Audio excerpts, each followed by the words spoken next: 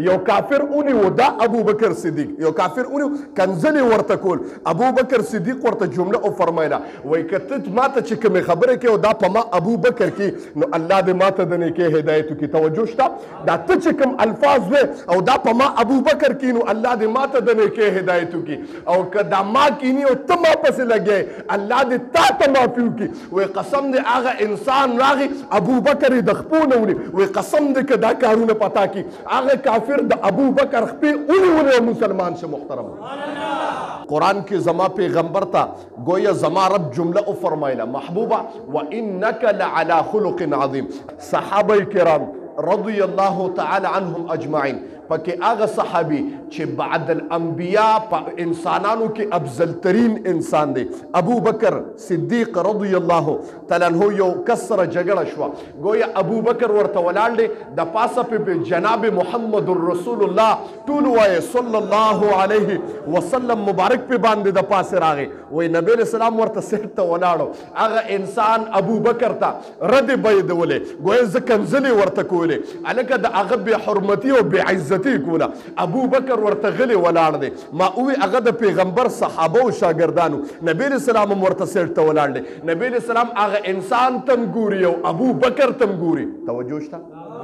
هغه انسان تم ګوري او ابو بکر تم ګوري حتی تر دې پورې ابو بکر ول جواب ورک وي قسم دې کته سوي زدا سينما زدا سي چې دا جواب یې ورکړ زما پیغمبر ترېنه مخ واړه او روان شو چې ترېنه روان شو ابو بکر وی هغه کس پرېښو د پیغمبر پسې شاته شاته منډې والې نبی رسول الله یې راټینګ کړ په سینه باندې لاس کېښود د الله رسوله اول چې هغه ما ته څونه ردې بدې ویلې تاسو کتل او تاسو خاندل تاسو کتل او تاسو خاندل د الله پیغمبر نو چې اوس ورته ما یو جواب وکړو ما ورته بد جواب هم نه دی کړی ما ورته صرف دا وی ته چې کوم کنزل کې دا په ما کې نشته د الله رسوله ته رانه واپس شوې خپه شوې خپه شوې که ته غواړې زه به د دغه انسان نه معافي وغواړم زما پیغمبر وې ابوبکره نه دا خبره داسې ده چې کله هغه تاله جوابونه درکول او ته ورته غلې وې قسم دې د اسمان نه ستا دپاره زما رب فرښته راولېږله چې لټ شه د جناب محمد رسول الله شاګرد ابوبکر یو انسان ورته کنزل کوي معاشره کې یو انسان به حرمتي کوي په معاشره کې یو انسان به ادبي کوي په معاشره کې یو انسان به عزتي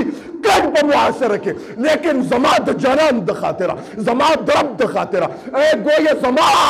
د پیغمبر د خاطر چپ ولاړ دی ګویا پرښتہ د اسمان نه زمين زمکه تراله چې کله تا کافر له جواب ورک پرښتہ واپس وا چې فرښته واپس شوه، زه واپس شوم، د الله رسوله! زما دې درب په ذات قسم وي، په سرزمین کائنات کې ددې نه بعد که ددې ابوبکر ګویه په تن کې ساه وه، زما دې قسم د رب په ذات باندې چې په کائنات سرزمین کې زما دا څرم څوک د تنې نه جدا کړي زه به ورته بر ونه ګورم. اوس مخکې ځم ورپسې.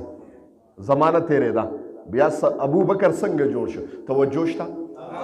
ابو بکر څنګه جوړ شو دغه ابو بکر صدیق رضی الله تعالی عنہ بیا داسې زمانہ رااله محترمو دا ابو بکر چې با کافرو کافرو بوله په مخ باندې خپې کې خو دی او داسې خپې نه چې هغه کې به پیزارو توجه شته تاسو هغه کې به پیزارو او په پیزار کې به میخونو او د ابو بکر د مخ نه به ویني او به دي دا وجود به له لوهان شو لیکن ابو بکر وې ماته د جانان هغه خبره یادېږي نو قسم دې چې چا به ولا په مخ باندې دغه کړو چا چې باورلا په مخ باندې هغه خپه او د میخونو خپه اخی وا وای ما اونکتل چې دارانه چا اخی د مال د جانان نه حیا راته ما اونه کتل بغیر د دې نه ما ورته د معافی اعلان وکړ مخکې واپس زم یو کافر اونی و دا ابو بکر صدیق یو کافر اونی کنزل ورته کول ابو بکر صدیق ورته جمله او فرمایله وای کته ما ته چې کوم خبره کې او دا په ما ابو بکر کې نو الله دې ما ته د نیکه هدایت کی توجه شته دا ته چې کوم الفاظ وې او دا په ما ابو بکر کینو الله دې ما ته د نیکه هدایت وکي او که دا ما کینی او ته ما پسې لګې الله دې تا ته معافي وکي وې قسم دې هغه انسان راغی ابو بکر د خپو نه ونی وې قسم دې که دا کارونه پتا کی هغه کافر د ابو بکر خپې اونی ونی مسلمان شه محترم